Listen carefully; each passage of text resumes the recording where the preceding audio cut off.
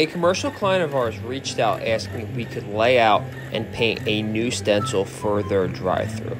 This stencil was so big it came in three pieces, so we taped it together because it makes it a little easier to move around when we're laying it out. And also, if you accidentally spray the middle lines, it could leave a line if there's a slight gap.